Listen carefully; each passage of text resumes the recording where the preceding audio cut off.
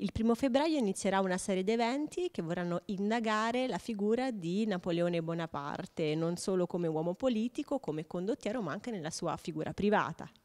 Sì, noi vogliamo che questa figura sia ricordata, una figura non solo internazionale ma che ha avuto un ruolo importantissimo in Italia, ha portato le idee di democrazia e di libertà e eh, poi soprattutto nella nostra zona perché si attribuiscono le origini della sua famiglia alla, zona della Lunigiana e di Sarzana e quindi penso che sia un personaggio importante da ricordare.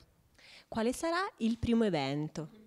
Evento sarà ehm, tenuto dal professor Giuseppe Benelli, che è il presidente dell'Accademia Cappellini e che parlerà appunto di Napoleone e la Lunigiana. Lui è un esperto della zona, quindi potrà molto bene illustrare questa, questa figura particolare di Napoleone nell'ambientazione della nostra zona, della nostra regione.